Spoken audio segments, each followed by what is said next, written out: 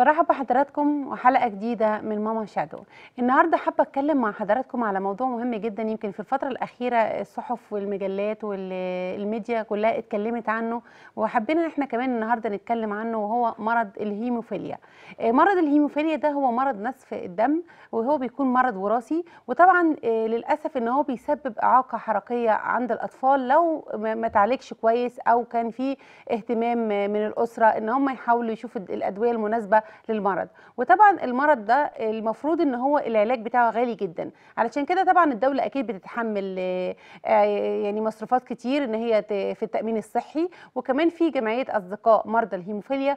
في نفس الوقت برضه هي بتساهم في ال- الدواء أو ال- العلاج اللي هو بيكون متوفر للأطفال. وحتى لما بيكبروا برضه بتساندهم وبتكون آه، سند ليهم وعون ليهم لأن فعلا ال- العلاج غالي جدا ومكلف جدا على الدولة كمان. فطبعا حبينا النهارده نفهم يعني إيه مرض الهيموفيليا وهيكون معانا الأستاذة الدكتورة سونيا حبيب آه، أستاذ أمراض الدم بالمعهد القومي للبحوث وسكرتير عام آه، جمعية أصدقاء مرضى الهيموفيليا. وهنعرف معاها أكتر عن موضوع الهيموفيليا وهنرحب بيها مع حضراتكم. برحب بحضرتك يا أهلا دكتور وسهلا دكتور حابين نعرف من حضرتك إيه هو مرض الهيموفيليا وإزاي نقدر نشخصه؟ هو حضرتك أمراض ال- النزف دي آه، في آه، منها آه، بيبقى مكتسب أو وراثية. في أنواع كتيرة جدا ودي بتنتج لنقص عامل من عوامل التجلط. نقص وراثي في تكوين آه، عامل من عوامل التجلط. آه، أشهرهم طبعا الهيموفيليا.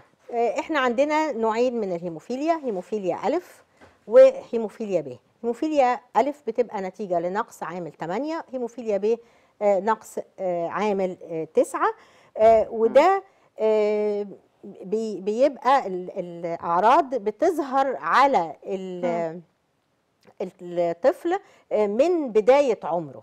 وبتبقى سن كام يعني يا دكتور؟ لا ممكن من من الولادة.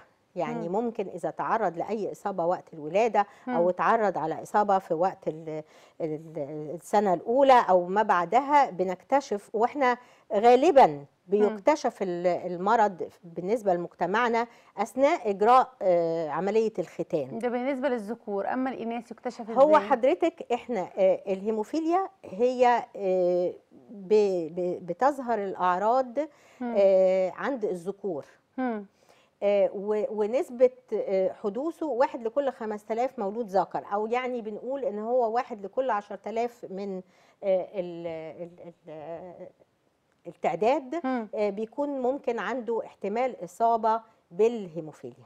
فبيظهر في بداية المراحل دي طبعا آه، آه، أول حاجة ممكن إن هو يظهر فيها لما يبقى مضطر لإجراء أي عملية مم. وأول عملية ممكن بيجريها هي عملية الختان. فبيظهر عندي أو ممكن في البدايات إن الأم بتلاحظ إن مثلا وهي بتغير له وجود بقع زرقاء مثلا عنده.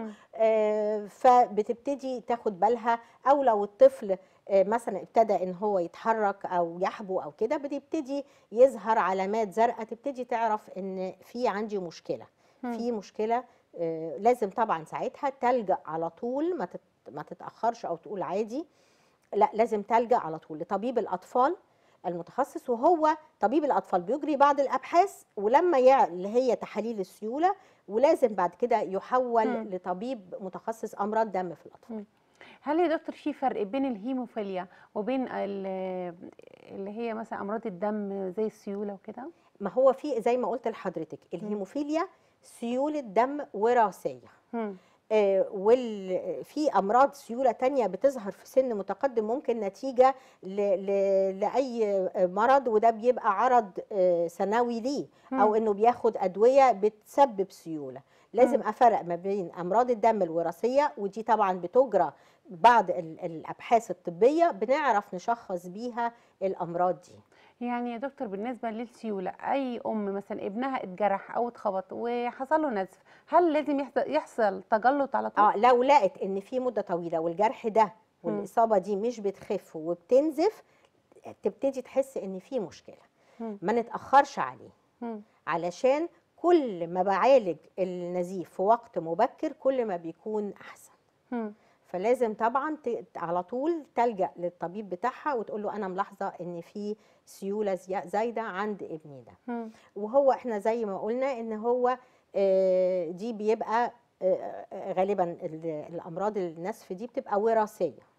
يعني ممكن بناخدها بالذات ال- الهيموفيليا هي بتبقى الأم حاملة للمرض مم. وممكن بتنقله لأبنائها الذكور أو إن في بعض الحالات ما بيبقاش فيه وراثة خالص في يعني ما بيبقاش فيه تاريخ مرضي في العائلة مم. وبيحصل في 30% من الحالات نتيجة لطفرة جينية في وقت تكوين الجنين. طيب يا دكتور إزاي الأم بقى تكتشف إن ابنها عنده مرض الهيموفيليا وممكن هو ما يكونش مثلا اتخبط أو اتصاب بأي جرح أو حاجة؟ إزاي تقدر تكتشف؟ هو آه، آه، طبعا في حالات بتبقى هي حسب ال- آه، ال- النسبة بتاعة. عامل التجلط ده في الجسم إحنا عندنا الهيموفيليا يعني بتنقسم لثلاث أنواع في. عندي هيموفيليا شديدة وده نسبة العامل بتبقى أقل من 1% ده عنده حاجة اسمها نسف تلقائي. يعني ممكن بدون إصابة بدون أي حاجة ممكن يحصل عنده نزيف تبتدي تتكون عنده. في أي أماكن وطبعا. آه، أكثرها بيبقى في المفاصل ممكن في العضلات في يعني في نزيف داخلي ولا خارجي نزيف داخلي أو خارجي مم. ممكن يحصل نزيف تلقائي عنده يعني ممكن يبقى الولد كويس أو يصحى الصبح تقول آه، أنا شايفة إن في المفصل عنده وارم لكن مفيش. مفيش دم مثلا بلاد بينزل أو حاجة ممكن يحصل نزيف مثلا من اللثة نزيف آه. في بقه في الفم لكن ال- الجلد لأ استحالة لما يكون في جرح هو ممكن بقى إن هو يظهر كدمات عنده من أي ضغط خفيف من أي حاجة اتك عليها ده اللي هو ال- الهيموفيليا الشديدة. في هيموفيليا متوسطة ده بعض الحالات بتظهر عندها ده بيبقى نسبة ال- ال- العامل عنده بتبقى من واحد لخمسة في المية. آه، ده بيبقى ممكن إن هو آه، لو أصيب آه، أو في بعض الحالات منهم ممكن يحصل نزيف تلقائي. الحالات بقى التانية اللي هي الهيموفيليا البسيطة بتبقى من 50 ل 40% وده ما مم. بيحصلش عنده إلا إذا تعرض لحادثة أو لإصابة أو داخل إنه يعمل عملية مم. في الحالة دي بتبتدي تظهر عليه آه، إن هو فعلا عنده سيولة مم. هل يا دكتور طفل ال- الهيموفيليا بيصنف من ضمن الطفل ذوي الاحتياجات الخاصة بالفعل هو آه، نتيجة ممكن لل- للنزيف ال- المتكرر. آه، فبيبتدي يحصل عندنا نزيف في المفاصل. لو إحنا ما أخدناش بالنا وادينا له العلاج بسرعة وخدنا بالنا إن هو طبعا بعد كده بيحتاج علاج طبيعي. ويحتاج متابعة دقيقة ويحتاج إن إحنا أديله برضه نز- أمشيه على نظام وقائي ممكن يحصل إن ال- المفاصل اللي حصل فيها النزيف المتكرر دي قد يحدث فيها تيبس وإعاقة حركية مم. آه، وطبعا علشان كده عندنا عدد من المرضى آه، عندهم آه، إعاقة حر- حركية مم. والحقيقة بنشكر الدولة جدا وبنشكر منظمات المجتمع المدني ومجلس الشعب والوزارات ال- المعنية التضامن والصحة إن هو فعلا المرضى أصبحوا بيشملهم قرار آه، اللي هو ال- قانون عشرة مم. لذوي الاحتياجات ال- الخاصة اللي موجود في الدستور سنة 2018 مم. و- وبقوا أصبحوا بحكم و- وبموجب الدستور بتشملهم آه، رعاية خاصة ضمن الاحتياجات الخاصة يعني هم لهم كرنيهات يا دكتور منذ الطفولة آه، هو يا فندم آه، إحنا كرنيهات أعاقة بالظبط إحنا لما بناخد بيجوا ال- ال- المريض بيتشخص. إحنا الجمعية عندنا بتساعد في التشخيص.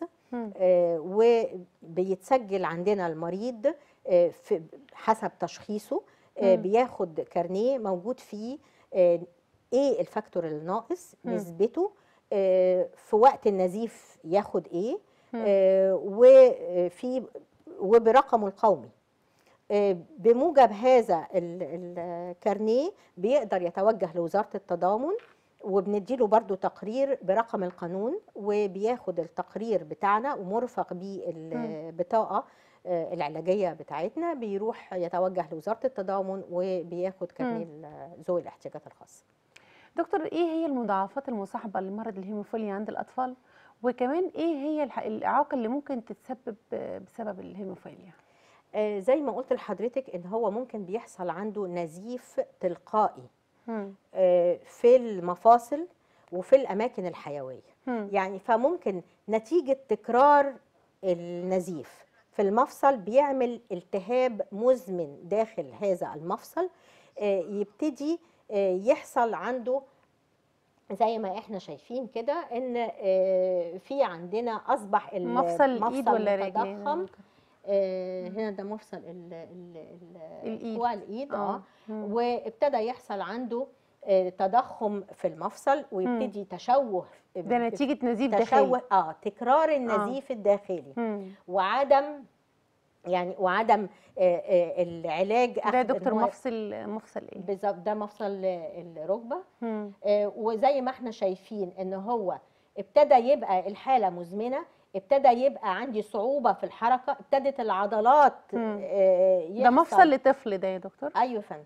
ابتدى يحصل آه، إن العضلات نفسها ابتدى يحصل آه، فيها طبعا آه، آه، مم. وفي الحالة دي آه، طبعا بت- بتسبب إعاقة حركية يعني ملهاش علاج ال- ال- الحالة اللي إحنا هو شايفينها الحالات آه، دي. بينفع معانا جدا طبعا العلاج الطبيعي عشان. أقوي يعني العضلات ممكن العلاج الطبيعي يرجع ال- المفصل مش تاني هيرجع مش هيرجع بالصورة الأولية إنما آه. أنا المهم عندي إن أنا أحاول أرجع. إن ال- المفصل آه، أرجع له ولو نسبة بسيطة من آه، الوظيفة بتاعته. أقوي العضلات الضامره لكن طبعا اللي حصل هنا المفصل دي بالمنظر ده دكتور أهملت. يعوق عن المشي يعوق الطفل عن المشي اللي إحنا شايفينه. آه، طبعا بيكون في مشكلة في الحركة. ما مم. يبقى يعني بيبقى المفصل مش واخد آه، كل المدى بتاع آه، حركته الطبيعية. دكتور حضرتك آه، تحبي تقولي إيه آه، تحبي تقولي إيه لأي أم عندها هيموفيليا لو في نصائح ممكن تعملها عشان تلحق الولد قبل ما هو- يجيله إعاقة حركية آه، هو حضرتك أول ما اللي بيتشخص آه، آه. الطفل آه، الأم لازم بتبحث عن أقرب مركز علاجي ليه مم. والحمد لله إن التأمين الصحي دلوقتي بيغطي كل الأطفال مم. من سن الولادة لحد سن ما ينتهي المدرسة مم. آه، اللي طبعا بعد كده اللي ما عندوش آه، مش متغطي بالتأمين بي بيبقى بيستخرج قرارات علاج على نفقة الدولة مم. لأن العلاج طبعا مكلف جدا فالأم مم. لازم تتوجه لأقرب مركز علاجي وتبقى في متابعة دائمة معاه. وكتير دلوقتي دايما من المراكز العلاجية دي الحمد لله إن إحنا برضو بنحاول إنه آه، نبتدي ندي العلاج الوقائي. لأن زي ما بيقولوا الوقاية خير من العلاج مم. العلاج الوقائي إن أنا أدي الطفل جرعات منتظمة مم. من آه، الفاكتور بحيث إن هو لو تعرض لإصابة آه، ما يبقاش النزيف بيطول معاه وأحاول أقلل آه، التأثير من النزيف الشديد. وبرضو إذا حصل نزيف في أي وقت لازم الأم تسرع بيه للمركز العلاجي عشان كل ما أنا أديت العلاج في أسرع وقت ممكن إن أنا أتفادى حدوث المضاعفات والتأثير السيء على المفصل. دكتور الجمعية بتقدم إيه لمرض الهيموفيليا بالنسبة للأطفال؟ آه، إحنا الجمعية بتاعتنا الحقيقة مشهرة من سنة آه، 1971 من أقدم الجمعيات في الشرق الأوسط. مم. وإحنا عضو في الاتحاد العالمي للهيموفيليا. مم. آه، إحنا عندنا نخبة آه، مجلس الإدارة بيتكون من الأطباء المختصين وعلى دراية كبيرة بأمراض النسف وال- والمرضى. اللي هم الفاعلين آه، واللي عايزين يخدموا آه، زملائهم. إحنا بنقوم بالمساعده في التشخيص آه، الأمراض آه، بنستخرج ال- الكارنيه اللي هو البطاقة الإسعافية العلاجية اللي بنديها لهم. بنساعدهم في إن إحنا بنديهم القرارات اللي بيقدروا يتو- يتوجهوا بيها لكل الجهات الحكومية. بنتواصل مع كل الجهات الحكومية وال آه، اللي بيكونوا عايزين آه، يعني ال- ال- المرضى آه، بيكون ليهم طلبات فيها آه، بنتوجه كمان بالاتصال بكل المراكز العلاجية آه،. والاشتراك معاهم في وضع ال- العلاج للمرضى بتوعنا آه، من خلال التبرعات طبعا آه، إحنا بنحاول إن إحنا نساعد آه، في الحوادث اللي ممكن يتعرضوا لها. آه، في العمليات آه، علشان نقدر إن إحنا نوفر العلاج في أقرب آه، فرصة لحد ما ما نقدر إن آه، مثلا يصل لجهة علاجه. آه، وبن الحقيقة غطينا جزء كبير من عمليات لل- للمرضى. بتوعنا برضو من خلال يعني ممكن يعملوا عمليات كمان في المفاصل إيه، ولا في إيه إحنا لو ما توفرش العلاج بيبقى صعب قوي إن أي جراح يجري أي عملية لمريض هيموفيليا.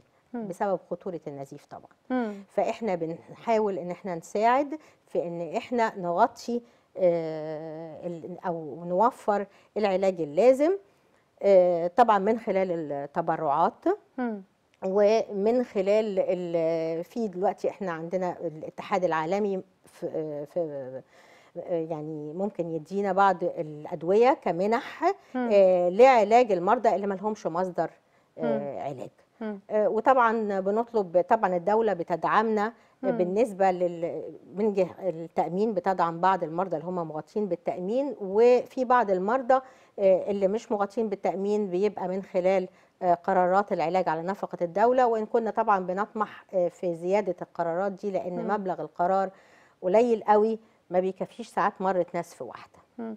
يعني ممكن الدولة يا دكتور ما تقدرش توفر العلاج لمريض الهيموفيليا آه، ال- الدولة الحقيقة آه، آه، زي ما إحنا عارفين هو يعني هو التأمين ابتدى إن هو بي. بي بيوفر وبيبقى ال- المريض متغطي إنما برضو آه، تكاليف المرض كتيرة قوي يعني فإحنا بنطلب تضامن آه.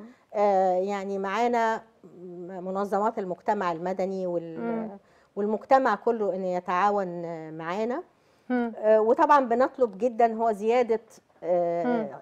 المبلغ بتاع القرار هو ال- العلاج فعلا غالي يا دكتور زي ما إحنا بنسمع بالظبط يعني لأن أنا الحساب آه. أنا بحسب العلاج حسب وزن المريض فكل ما المريض بيكبر كل ما تكلفة العلاج. بتكبر كل ما الوزن بيزيد تكلفة العلاج بتزيد مم. وأنا آه، يعني ممكن عندي يتكلف كام 8 يومياً؟ آه، بحتاج آه. جرعتين في اليوم يعني كل 12 ساعة هي فعلا يا دكتور فاكتور بتوصل ل 2000 وشوية ده ده ممكن ده ثمن الحقنة الواحدة. آه. هو بيحتاج كام حقنة في اليوم حسب الوزن حضرتك يعني. هو يعني ممكن ممكن ممكن طفل طبعا مثلا طفل مثلا عنده 10 سنين يحتاج كام جرعة آه، حسب برضو الوزن يعني. أنا مثلا لما مم. بيكون عندي نزيف شديد بحتاج ال 500 ل... لا لكل 10 كيلو. مم. لو هو نزيف عادي مثلا بدي الجرعة ال 500 اللي هي ثمنها 2000 جنيه دي. ل... لكل 20 كيلو. يعني ممكن range كام في الشهر ال- ال- لا التكلفة حسب مرات النزف وحسب. ال... يعني هي بتتحسب حسب نوع النزيف عدد مرات النزيف في الشهر ف... فطبعا التكلفة كبيرة يعني مم.